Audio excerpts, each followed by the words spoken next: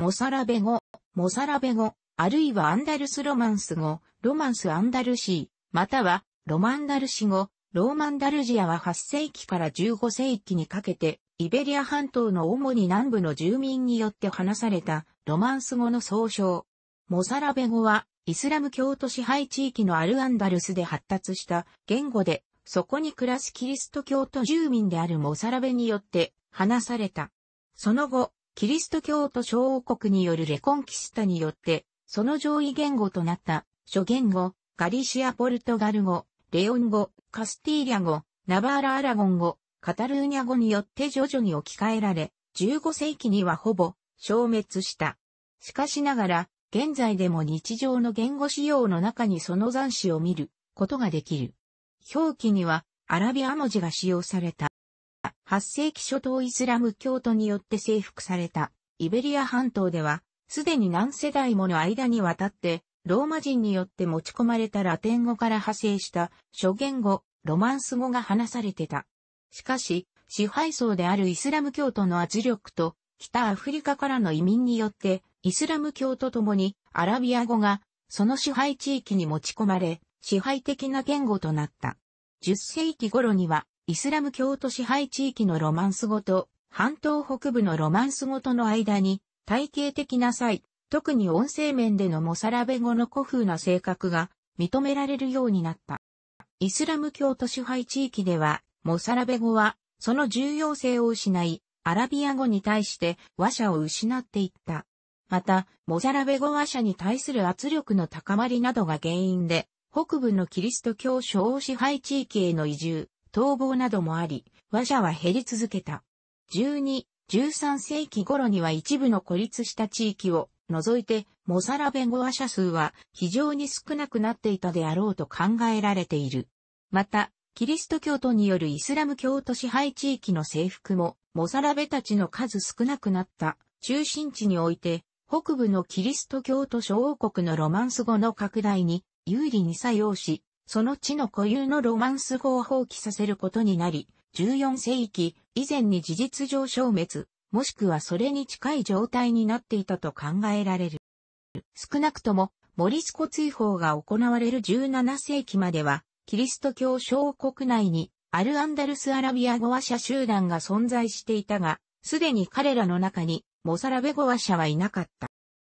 イベリア半島へのイスラム教徒の侵攻後、ロマンス語を話していたビシゴート支配層や一般住民は新たな支配民族のアラブ人に従わざるを得なかった。アラビア語はロマンス語を話す多くの住民にとっても一般的な使用言語へと変わっていった。ロマンス語話者たちのある部分はキリスト教信仰を保持し続けた。彼らはモサラベ、モーズレイブ、アルアンダルスアラビア語ではムスタ、ロビー、生息アラビア語ではムスタ、RAB、どちらもアラブ化されたものの意と呼ばれた。モサラベたちは公的な場面においては、アラブ伝統文化を受け入れざるを得なかったが、彼らの大部分はアラビア語の強い影響を受けながらも、自分たちの共同体内部では彼らのロマンス、ご地域バリエーションを保持し続けた。彼らによって話された、この交互ロマンス語は、家族内や彼ら自身のコミュニティでもっぱら使用され、社会的、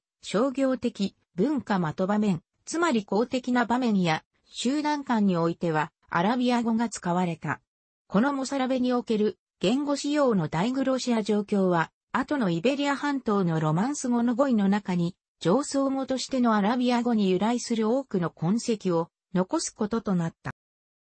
もともと特定の宗教に関わりのある職業に結びつけられておらず、様々な住民、キリスト教徒のモサラベ、ユダヤ教と改宗イスラム教徒などのそれぞれの固有言語であったもが、文化的、社会的、そして宗教をまと場面において、アラビア語あるいはラテン語によって、そしてある場合には、アルアンダルス時代に花開き、名声を獲得したロマンス書語によって侵食され、そして置き換えられた。これらのロマンス語のバリエーションは一度も単一の言語であったことはなく、そして初期において、ラテン文字の代わりに、アラビア文字で書かれたということが、他のロマンス書語と違っていた。ソーイコールスレー、ソーラソルによれば、モサラベ語は、イスラム教徒支配下で、古の西ゴート王国の都市部に住み続けた、キリスト教徒たち共同体固有の話し言葉の一部を成したということである。この言語は、今日我々には、モークサージャと呼ばれたアルアンダルスの詩の終わりに、アラビア文字あるいは、ヘブライ文字を使って記されたロマンス語のハンクである施設ハルチャ、ジャーヤによって知られている。ソラースレイによれば、モサラベ語は語彙の40%がアラビア語イコールベルベル語由来、そして60%がロマンス語、つまりラテン語起源の語彙で、その東方起源の語彙のうち動詞に比べ名詞、使用頻度が高いとされる。今日このロマンス語に対してモザラベ語という名称を用いているが、この言語自体による名称はミューズラブあるいはモーズレイブではなく、ラティーノ、ラティーノであった。モザラベ自身は自分たちの固有言語をモサラベの言語と呼ぶことはなく、ラテン語を意味するラティーノと呼び、また自分たちのこともマザラビスとは呼ばず、ラティーノス、ロマンス語を話す人のイデと呼んでいた。19世紀以前、スペインの歴史家は中世のイベリア半島でイスラム教徒支配の下で暮らしていたキリスト教徒と彼らの言語についてモザラベという用語を使っていなかった。この言語に対するもっと普通のアラビア語での呼称は、アルアンダルスのロマンス語を意味する、アルアジャミア、奇妙な外国のの意であった。モサラベあるいはアハミーヤという語は他称で、この言語の事象ではない。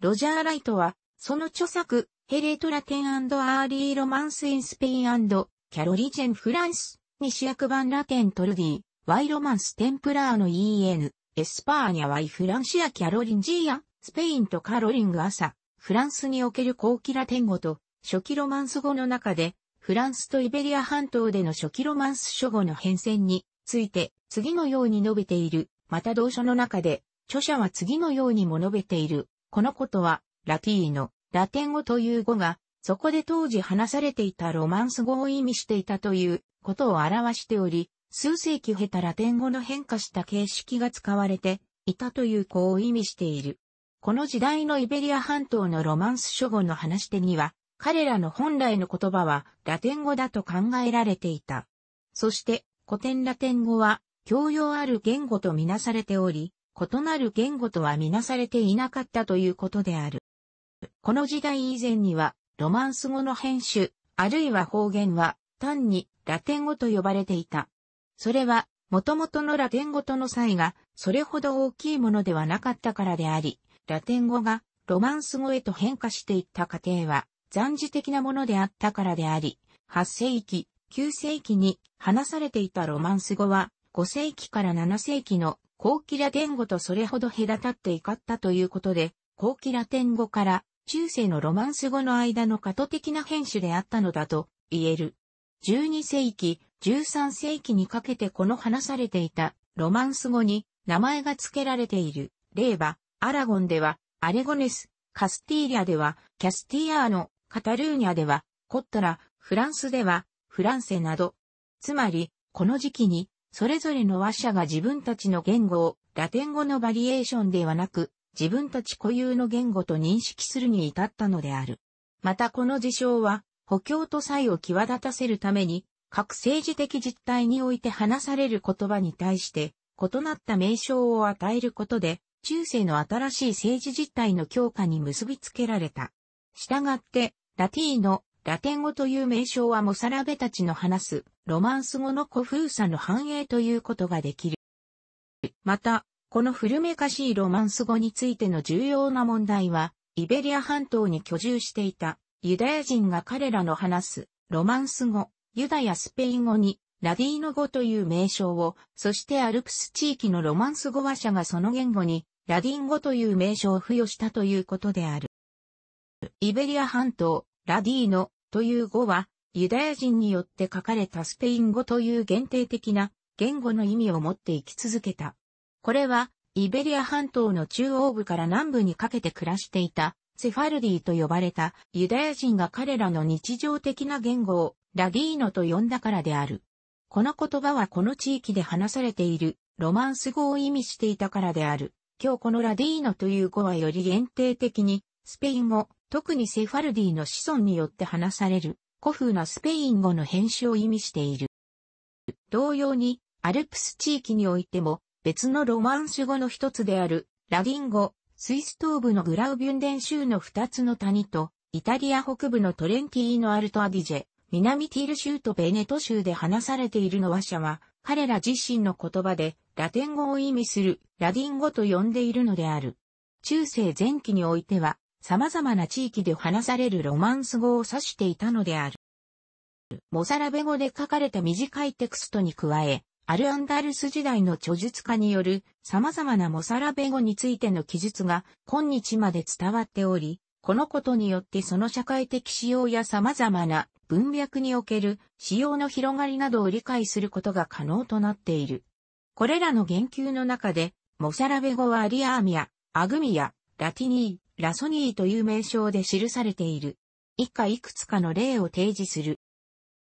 レコンキスタの進展によって、モサラベ住民は、そこの住民に影響を与え、そして征服されたイスラム教徒の領域の制度や、ものについての語彙を浸透させながら、キリスト教と小王国に組み込まれていった。同様に日常的に使用される用語が浸透していった。前述したように、モザラベ語は12世紀以降ムワッヒド朝の到来もあり、激減し、これらのアンダルスアラビア語話者はすでにモザラベ語の話者ではなかった。南部のイスラム教徒支配下の土地から北部へのキリスト教徒のモサラベの移住によって、ほとんどイスラム支配を受けなかった地域においても、アラビア語起源と思われる地名が見られる。一方、北部のキリスト教徒のロマンス諸語へのアラビア語の影響は11世紀のコルドバの後ウマイヤ朝の分裂を契機に拡大したと考えられる。レコンキスタが拡大し、11世紀以来他を圧倒しつつあったカスティーリャ王国で話されていた中央部や北部のカスティーリャ語に多くのアラビア語が侵入していった。このことによって、おそらくモザラベ諸法こととカスティーリャ語、ポルトガル語、カタルーニャ語との間に当時接触があり、意思疎通が可能であったであろうと思われる。モサラベ語がロマンス語であることは、その語彙や明らかに後期ラテン語から引き継いだと思われる文法から明白である。しかしながら、ロマンス語内部での位置づけは現在においても議論の分かれるところである。まずそれはイベリアロマンス語に特徴的な音声変化があまり確認できないということである。一方、エスノローグは明確な証拠がないにもかかわらず、の故障を用いている。しかし、実際には、と、モサラベ語との間にこの言語グループを設定できるだけの、はっきりとした統合線を引くことはできない。いくつかの面において、モサラベ語は、イベリア半島の他のロマンス語より、古風な特徴を持つ。このことは孤立した周辺的な言語編集が言語的に保守的な島として残されたと考えられ、モサラベ語とみなされるロマンス語で書かれた文書に基づいて、以下のようないくつかの古風な特徴の例を挙げる。いくつかの語については、一般的にその他のロマンス語で見られる語形よりも、ラテン語により近い形式が見られる。基礎言語としてのモサラベ語は、バレンシア語とバレアレス方言を、カタルーニャ語から、ポルトガル語を、ガリシア語から、エストレマドゥーラ語、アストゥリアスレオン語からアンダルシーア方言やムルシア方言などの南部で話されるカスティーリャ語方言をから区別される特徴を与えた。特にカスティーリャ語については新たに人口がまばらでアラビア語の影響を強く受けた中央カスティーリャ方言をロマンス方言連続体に付け加えることとなった。そして唯一明確な影響は語彙についてでポルトガル語あるいはカタルーニャ語同様に、カスティーリャ語にモザラベ語を通して多くのアラビア語語彙が持ち込まれたということである。モザラベ語はロマンス語の一つであるが、アラビア文字で書かれ、それはアルハミーヤ、アル、アグミヤと呼ばれる。この書かれたものはかなりの数のものが残されており、この時代の書かれたロマンス語として重要である。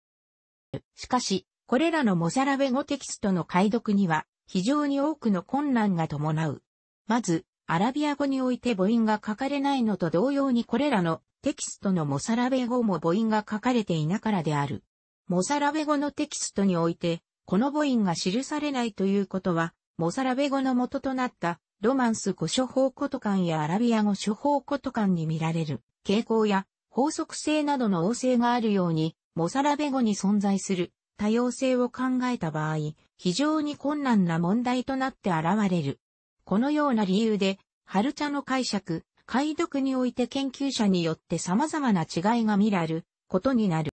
楽しくご覧になりましたら、購読と良いです。クリックしてください。